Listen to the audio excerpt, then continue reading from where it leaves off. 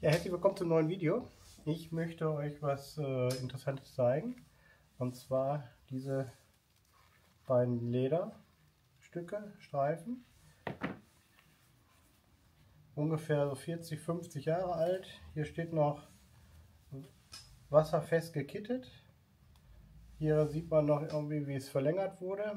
Also hierum handelt sich oder hierbei handelt es sich um ein altes äh, Transmissionsriemen, also Treibriemen, welches irgendwelche Maschinen mal antreiben sollten. Das haben sie nie getan, deswegen sehen die noch so gut aus.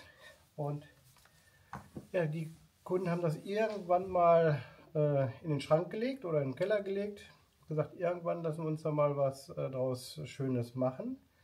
Ja, und dann haben sie uns gefunden und wir durften aus diesem Ledergürtel machen.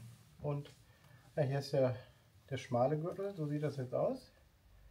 Wir haben auch diese Aufschriften, die sie hier mal gemacht haben. Das wird wahrscheinlich der Hersteller gewesen sein.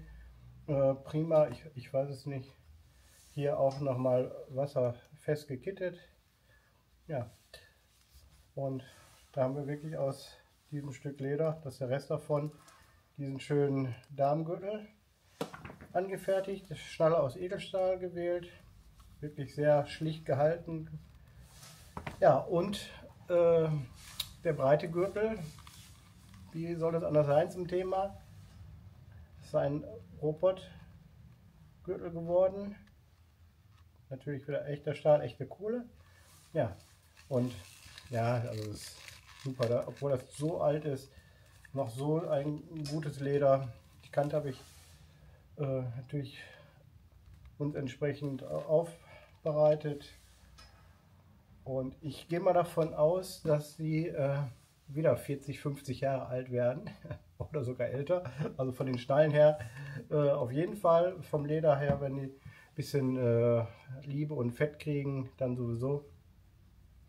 Ja, wollte ich euch zeigen. Ich packe nachher noch mal ein paar Bilder rein. Und ja, solche interessanten Sachen dürfen wir machen. Und äh, ja, wenn du auch sowas irgendwie zu Hause rumliegen hast, dann äh, komm gerne vorbei. Wir freuen uns drauf.